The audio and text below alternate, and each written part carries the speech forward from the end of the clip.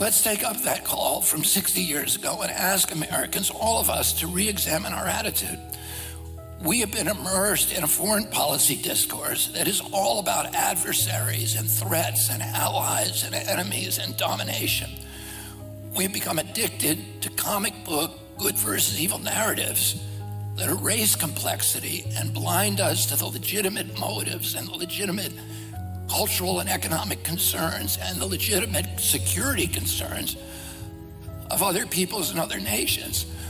We have internalized and institutionalized a reflex of violence as the response for any and all crises.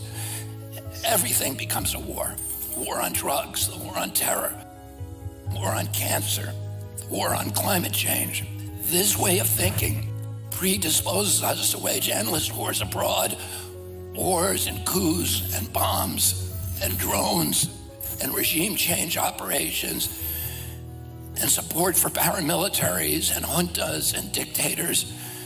None of this has made us safer, and none of it has burnished our leadership or our moral authority. But more importantly, we must ask ourselves is this really who we are?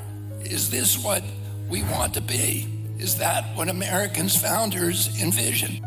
Is it any wonder that as America has waged violence throughout the world, violence has overtaken us in our own nation?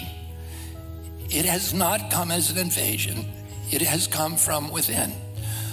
Our bombs, our drones, our armies are incapable of stopping the gun violence on our streets and schools or domestic violence in our homes.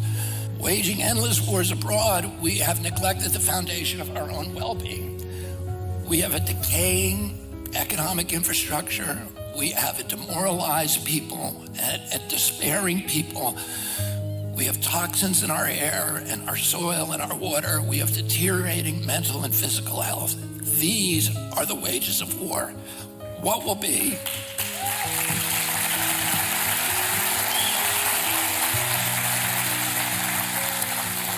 what will be the wages of peace?